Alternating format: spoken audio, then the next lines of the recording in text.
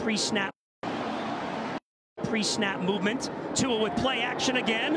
End zone. Cracraft Touchdown. Dolphins. Tua Tagovailoa making it look easy. It's 6 zip.